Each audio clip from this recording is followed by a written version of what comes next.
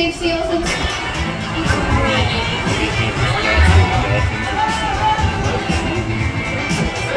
They're also able to use those flippers to lift themselves up and out of the water to get a better view of their surroundings.